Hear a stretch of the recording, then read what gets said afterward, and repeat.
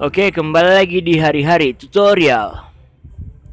Oke, kali ini saya akan menjelaskan tentang bagaimana cara merubah font atau tulisan di WA atau WhatsApp. Oke, langsung saja kita mulai. Kita hapus dulu ya. Oke. Kita perhatikan tulisan standar dari WA atau tulisan bawaannya. Oke, ini tulisan bawaan. Terus untuk menebalkan menebalkan font atau tulisan kita hanya menambahkan satu bintang di awal tulisan dan di akhiran. Nah.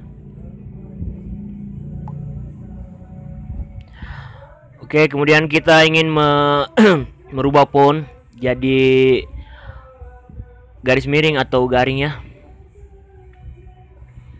kita hanya menambahkan underscore di awalan dan di akhiran. Oke.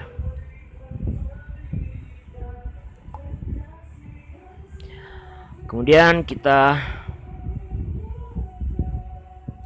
menambahkan kode tiga bintang tanda petik terbalik di awalan dan di akhiran nah fontnya berubah. Oke, kemudian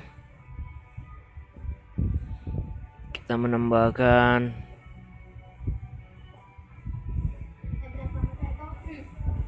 ini.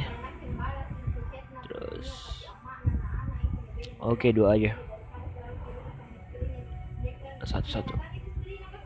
Oke